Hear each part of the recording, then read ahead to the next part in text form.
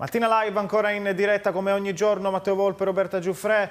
Oggi affrontiamo un altro argomento, Roberto, un argomento importantissimo che abbiamo già toccato anche la scorsa settimana per quanto riguarda, in questo caso, Palermo, ma in generale è un, una problematica che eh, appunto infesta non soltanto Palermo, eh, ma tante altre città. È un momento in cui eh, il fenomeno della droga sta facendo dei danni irreparabili sia dal punto di vista sociale che appunto anche culturale eh, di tutta questa movida dei giovani, soprattutto è collegata al mondo dei giovani che sta facendo veramente tantissimi danni.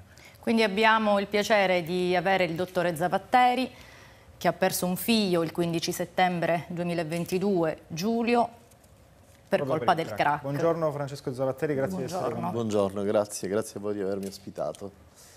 Allora, la problematica è importante, la vogliamo subito affrontare. Eh, ovviamente il racconto che lei ha fatto, lo ha fatto in tantissime ehm, trasmissioni televisive, ha raccontato ai giornali quello che è successo eh, nella sua vita che appunto ha cambiato totalmente anche il suo modo di vedere. Il fenomeno del crack come di tante altre eh, droghe, tante altre mh, possibilità, insomma, ehm, tanti altri problemi che in questo momento si stanno sviluppando tra i ragazzi. Ma in questo caso parliamo del crack e parliamo di quello che è successo a suo figlio e perché è importante ricordarlo, come può aiutarci a superare questa situazione. Sì, eh, intanto voglio precisare e ricordare che Giulio era un ragazzo straordinario, era un ragazzo divertente, simpatico, con grandi capacità e attitudini eh, e che riempiva ovviamente di, di, felicità la nostra casa. Da quando lui è passato in questa nuova dimensione, perché io non, non credo che sia morto, ma credo che sia con noi perché vive e continua a vivere nel cuore di tante persone e deve essere un esempio per tanti, per tanti ragazzi che soffrono e famiglie, perché purtroppo il fenomeno del crack è un crack è un, un, fenomeno che sta dilagando a Palermo così come in tutte le città d'Italia ma anche d'Europa e che interessa soprattutto eh, una fascia di età molto bassa, ragazzi minorenni e, e ragazzi molto giovani. È una, è una, droga che ha degli effetti devastanti e che ovviamente noi dobbiamo contrastare perché io sento da quando Giulio non è più vicino a noi sento il dovere genitoriale di informare altri genitori eh, e le istituzioni che è una situazione che non può andare più avanti. Perché mm, al, poco fa mentre attendevo ho ricevuto la telefonata di una madre disperata che si ritrova sola a lottare in questa situazione con il figlio, Purtroppo il marito la, in seguito a questa situazione si è anche allontanato e lei mi dice io sono sola e disperata, mi hanno allontanato tutti e non, e non so più cosa fare per poter aiutare questo, questo mio figlio. Ecco. Eh, dobbiamo soprattutto lottare col concetto di cosa significa essere eh, affetti da dipendenza patologica da sostanza e non da tossicodipendenza, perché purtroppo oggi noi viviamo lo stigma che un ragazzo che fa uso di sostanze eh, stupefacenti è un tossicodipendente e come tale viene inquadrato come un, un delinquente, un vizioso, viene marginato segue, e allontanato da tutti, sia lui che la famiglia. Molto spesso si, eh, si cerca di insinuare che dietro una tossicodipendenza ci sia una famiglia malsana o dei genitori che non abbiano saputo trasmettere dei valori o un'educazione adeguata. Io posso garantire che non è così, perché Giulio era amato ed è stato amato fino alla fine da tutti, supportato e aiutato in tutti i modi. Poi purtroppo a volte la, la, la, il destino si mette di traverso, è successo quello che è successo. Ma diciamo eh, c'è la possibilità di capire immediatamente quando un proprio figlio potrebbe finire in questo giro? Cioè ci sono dei sintomi, qualcosa che da genitore uno può riconoscere e può immediatamente dire un attimo, aiutiamo mio figlio? Assolutamente perché sì. possibilmente sta cadendo in questa trappola, perché è una vera e propria Assolutamente trappola. sì. Una trappola che costa poco oltretutto. Sì. Il crack costa poco, anche a Ballarò la vendono a 5 euro. Sì, Abbiamo sentito meno grazie... forse della marijuana eh. e purtroppo viene veicolata attraverso la marijuana giovani ragazzi che spesso sono inesperti e non capiscono che eh, fumando già una volta diventano assolutamente dipendenti, dipendenti ed è quasi impossibile uscire da questa dipendenza. Quindi quali sono i campanelli d'allarme che ci devono subito far dire attenzione mio figlio? Allora io in questo, in questo diciamo, percorso di vita nel quale sto viaggiando al contrario perché con i suoi fratelli con i fratelli di Giulio che lo adoravano in tutto e per tutto ci siamo girati e stiamo ripercorrendo la strada che ha fatto Giulio incontrando questi ragazzi e cercando di parlare con loro, di capire quali sono le esigenze più che io devo dire mio figlio Vincenzo sta facendo questo lavoro perché io ovviamente ho degli impegni lavorativi e non posso sempre dedicarmi assolutamente a questa, a questa impresa, chiamiamola così. E spesso sono dei ragazzi che hanno una grande fragilità interiore, ma delle grandi capacità e, e una grande sensibilità. Sono spesso artisti, sono ragazzi che disegnano, che dipingono, così come, diventa, come, come, come Giulio, che suonano strumenti musicali, quindi sono...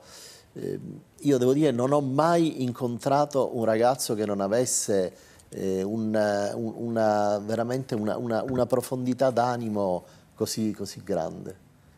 Quindi sono sicuramente eh, eh, dei, de, delle, delle, situazioni che vanno intercettate a livello scolastico già dalle scuole elementari. Quello su cui stiamo lavorando è anche quello di formare una classe di docenti che sappiano intercettare alcuni appunto, campanelli d'allarme per poter intervenire e fare supportare questi ragazzi fin dalla, dalla, prime, eh, dai primi campanelli di allarme. Infatti lei e la sua famiglia le avete provate tutte in questi cinque anni, dalla comunità, psicologi, psichiatri, però manca nella nostra città un centro che ascolti e aiuti questi ragazzi e che soprattutto spieghi alle famiglie come riallacciare il dialogo con i figli, affrontare questo mostro. Quindi quali progetti insomma, state, state avviando? Allora, con l'associazione La Casa di Giulio eh, noi già abbiamo avviato un'attività presso, proprio in prossimità a Ballarò, eh, grazie alla grande generosità del, eh, del dottor Gargano presso l'ambulatorio Ippocrate, Ippocrate della Caritas e Agisci e la Casetta della Salute e si è attivato uno spazio di accoglienza destinato agli adolescenti e agli adulti in, eh, in situazioni di fragilità psicosociale dove vengono questi ragazzi accolti, già so che sono stati accolti oltre 20 ragazzi, e le famiglie e avviati a dei percorsi terapeutici. Quindi che hanno già cominciato a lavorare questi ragazzi, sì. hanno già cominciato il loro percorso. A tal proposito, anzi devo dire eh, che abbiamo anche delle belle notizie perché più di uno eh, già attraverso i CERT sono stati inviati a, a, delle comunità terapeutiche purtroppo non in Sicilia, perché in Sicilia non, non, non esistono strutture di questo genere, e già hanno, hanno intrapreso questo percorso. A questo proposito volevo, eh, se è possibile, lanciare un appello eh, dicendo a tutti che c'è una grande necessità di medici, di infermieri, eh, di psichiatri e di psicoanalisti in particolare, perché mh, eh, questo ambulatorio è stato avviato grazie alla estrema generosità della dottoressa Anna Maria Maggio, che è una infettivologa e psicoterapeuta che ha una grande esperienza perché ha lavorato per oltre vent'anni all'interno dei SERD a Palermo ed è una persona molto molto in gamba e, e allo psichiatra il, il dottor um, Antonino Enia che ovviamente si fanno in quattro, supportati e aiutati anche da mio figlio Vincenzo e da Lorenzo Capretta perché c'è una mole di lavoro molto, molto, molto C'è un numero di riferimento che possiamo dare anche magari ai medici, infermieri, eh, psicologi che, appunto, di cui avete bisogno, magari possono scrivere e possono subito Possono attraverso la, la, la, casa di Giulio possono contattarci. È una pagina Facebook? Sì, sì, sì, è una pagina Facebook, attraverso Messenger possono eh, contattarci e noi possiamo insomma... E allora cercate la casa di Giulio su Facebook, fatelo immediatamente se siete appunto dell'ambito sanitario, che se sapete di poter dare una mano fatelo immediatamente, scrivete, sappiate che appunto sarete preziosissimi in questo percorso. Roberta. Il comune di Palermo, così ho letto, un anno fa aveva dato la sua parola che avrebbe cercato un immobile per donarlo e creare la casa di Giulio. Quanto la politica le è stato accanto fino ad oggi? Allora, io devo dire che ho una, una grande stima del, del sindaco, il, il, professore Lagalla e anche dell'assessora eh, Rosi Pennino che si, si sono spesi e si stanno spendendo. Ovviamente lottiamo con i tempi della burocrazia perché sebbene all'inizio c'era stata questa, questa, generosa volontà di, appunto, di, affidare un bene, poi si è optato eh, attraverso un tavolo tecnico di fare dei bandi per strutturare tre drop-in che sono i centri di accoglienza a bassa soglia per questi ragazzi perché non dimentichiamo che attualmente ci sono oltre 400 ragazzi in condizioni igienico-sanitarie pessime che vivono abbandonati per, per, la strada perché molto spesso non, non, non sono gestibili in ambito familiare perché cominciano a manifestare dei disturbi psichiatrici anche gravi, oltre alla compulsione per la droga, che li porta non perché siano delle cattive persone, ma perché la droga purtroppo devasta il cervello e, e li fa diventare assolutamente dipendenti da, da, da, da, questa sostanza, in particolare il crack. Secondo lei deve esistere una legge dove un genitore può denunciare il proprio figlio?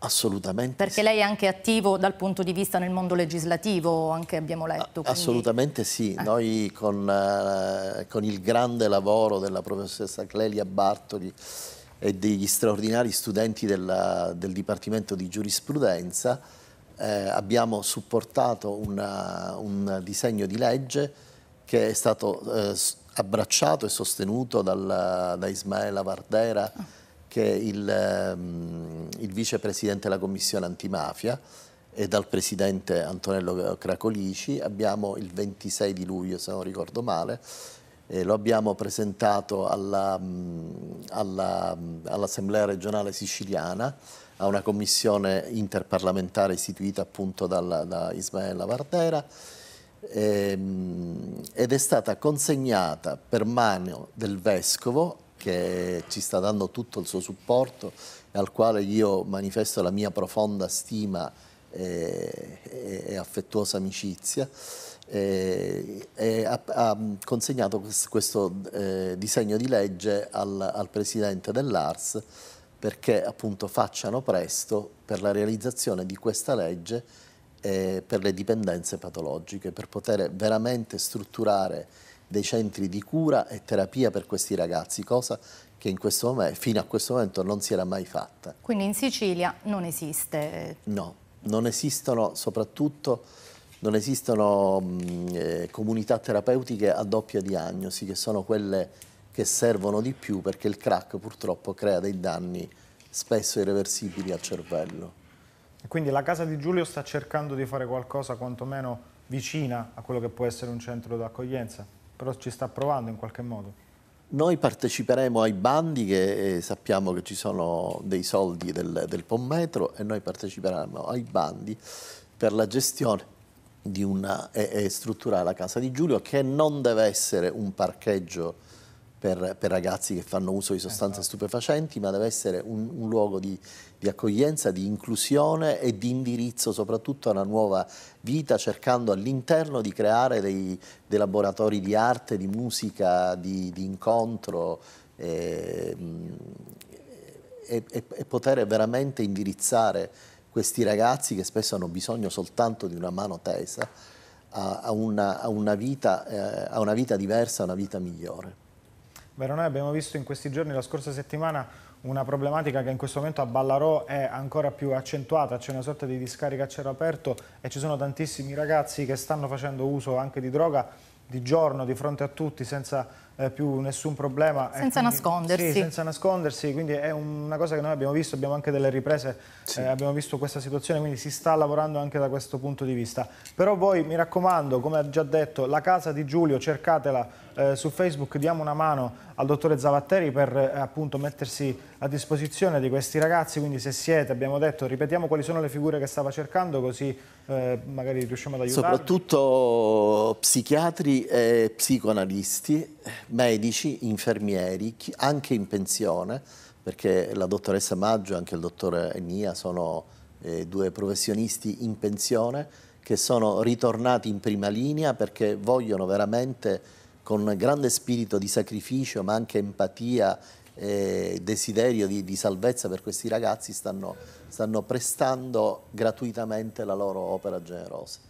Roberto, un'ultima battuta, poi purtroppo abbiamo finito il tempo. Sì, non possiamo permettere che altri ragazzi facciano la stessa fine di Giulio, quindi auguriamo che questo progetto insomma, eh, sia attuato il prima possibile per il ricordo, la memoria di suo figlio, ma anche per tutti quei ragazzi che oggi si trovano nelle stesse condizioni. Non è neanche più un discorso di ceto sociale, non è un, assolutamente non è un discorso appunto di avere alle spalle delle famiglie eh, disagiate o con dei problemi, assolutamente no. Quindi le auguriamo Grazie, se posso aggiungere una cosa, io sì, a tal certo. proposito eh, già da diverso tempo vado nelle scuole a raccontare come sono andate le cose eh, e devo dire che i ragazzi restano molto molto colpiti, molto emozionati da, da questa vicenda e quindi credo che questo messaggio passi forte, deve continuare a, a passare e io in, in questo periodo che fa fino a gennaio andrò, continuerò ad andare in diverse scuole proprio per informare i giovani che spesso sono inconsapevoli, eh, non perché siano stupidi, ma perché a volte l'inconsapevolezza, la non competenza su determinate cose provoca poi dei danni veramente irreparabili. Ci sono anche delle manifestazioni, Giulio è, che continuano a ricordarlo ogni anno, quindi noi teniamo sempre acceso questo riflettore. Quando vuole, Zavatteri, lei è il nostro ospite, Grazie. a raccontarci quello che succede in questo ambito, come possiamo aiutare i ragazzi, quindi è sempre Assolutamente sì, vi ringrazio veramente, io eh, cercherò passo passo di informarvi su tutte le attività e su tutto quello che, che accade. Con piacere. Grazie mille al dottore Francesco Grazie Zavatteri. Grazie mille a voi che ci avete seguito sinora. Fra pochissimo continuiamo con la rubrica storica 16 live, in questo caso assistenza domiciliare, quindi eh, restate con noi. Noi due ci vediamo sempre domani, domani mattina, a partire dalle 9, 9 del no. mattino. Ringrazio la regia, Roberto Marcoddo, Nino Tarantino, eh, Mirko Ufo Valenti e il nostro Corrado Occhione. Grazie mille, ci vediamo domani noi due, ma restate con noi sempre a Mattina Live e col TG Media News.